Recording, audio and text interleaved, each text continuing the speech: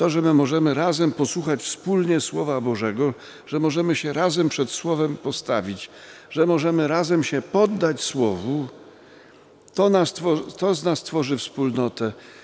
Oczywiście wszystkie inne elementy też są ważne, ale bez tego poddaniu się Słowu to będziemy no, uczesani, ułożeni strukturalnie, formalnie, oczywiście.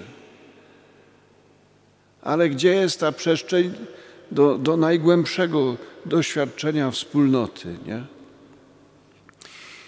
I jak, jak mówimy o tym gromadzeniu, trzeba sobie z tego zdawać sprawę. Nie mówimy o jakimś zadaniu dobrego pasterza, które jest drugo, trzecio czy piątoplanowe, tylko mówimy o zadaniu, które jest pierwszoplanowe.